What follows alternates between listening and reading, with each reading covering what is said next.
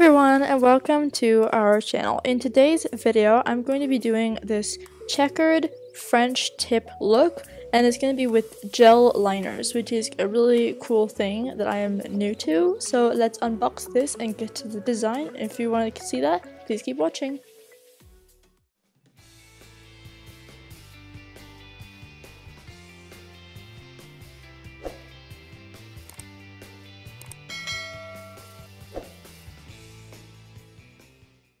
So to start off, Lanfo sent me their 12 gel liners and they are all so pigmented and so gorgeous, so I can't wait to show you guys this design. And the reason they are called liners is actually because the brush is a lot thinner than a regular brush, so this helps to make finer lines and finer designs, so that's why it's called a liner brush.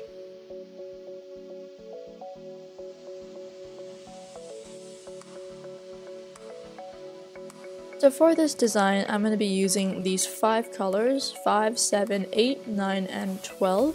And I'm going to start off with 9, and I'm going to, for the checkered look on my pointer finger, I'm going to make lines to outline where the checkers will be. This makes it a lot easier for me, at least, to know which colors are going where, and also to make the squares um, more sharp. For my pointer finger, I'm only going to be using three colors, which is the blue, white, and silver.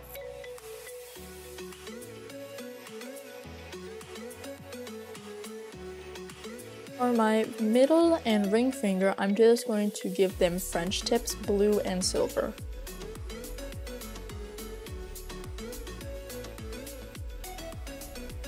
And for my pinky nail, I'm going to be using four colors, green, white, silver, and blue.